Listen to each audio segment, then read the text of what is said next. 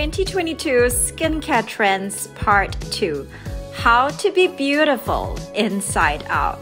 Self care is more than just a buzzword. At the heart of a skincare routine is an emphasis on overall well being. Practicing your skincare ritual daily is self care in action. Behind this is the science of the brain skin connection an area increasingly studied by dermatologists.